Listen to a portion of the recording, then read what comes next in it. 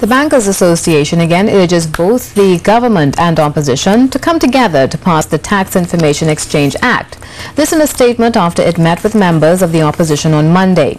The association said it shared its views on the current amended draft of the legislation that was recently presented to Parliament in December 2016 and which included numerous amendments previously proposed by the opposition. The Bankers Association said it noted the fact that the areas remaining for debate had narrowed considerably.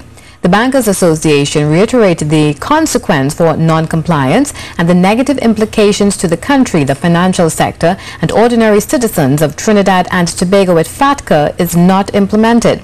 It said the opposition expressed its support for the country obtaining FATCA compliant status and the meeting concluded with an agreement to continue consultation to ensure passage of the legislation before the revised deadline of February 2017.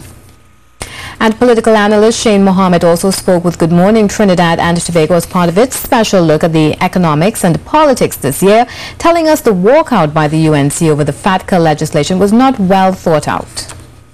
In the Westminster system, when your leader is put out of the parliament, it is tradition that the troops walk out together with the leader because the leader leads the pack. That's one. But I agree as well with him that this walkout thing is becoming mundane, frustrating, disgusting, disrespectful to the people's taxpayers' dollars that are paying you. And even if it is that you, your leader gets put out of the parliament and there's the tradition of everybody walking out, there's, it should say that you are not planning, strat your strategy and your planning is ineffective. You should be prepared that if I get put out today, boys, hear what's going on. You all, whether it is five, six of you all, need to stay back and debate this thing and go down to the wire with it, but hold down our position and see what says.